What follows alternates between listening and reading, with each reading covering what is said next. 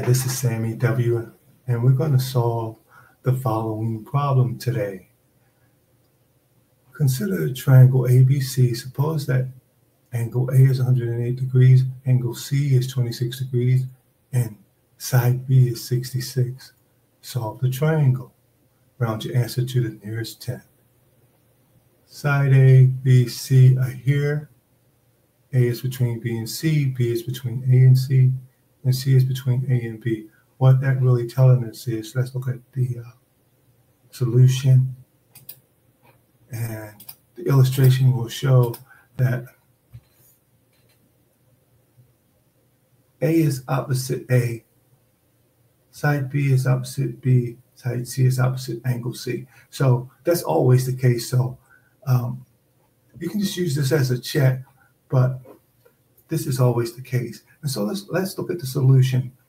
We have what was this was what was given. The law of a triangle A plus angle A plus B plus C equals 180 degrees. B equals 180 minus A minus C.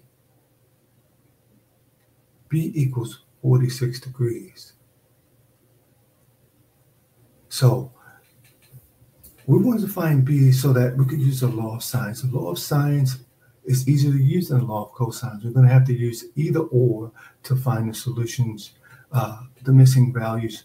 When you're given three, you're always using the law of sines or the law of cosine. So here we have just two ratios, and uh, we can plug in three, find the other unknown. And that's what we have here.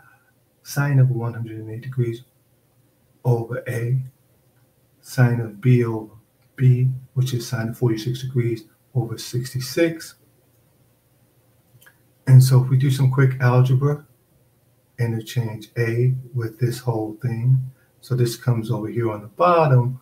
That'll be sine of 46 over 66. But when we do the reciprocal, it's 66 over sine of 46. 66 times 108, where A comes out to be 87.26. We're rounding to the 10, but in an intermediate calculation, I wanted to round, uh, use as many digits as I can to get an exact figure. So here it was just two digits. I'll round that down later. But I'll leave it to you to find the other two values um, in this same fashion.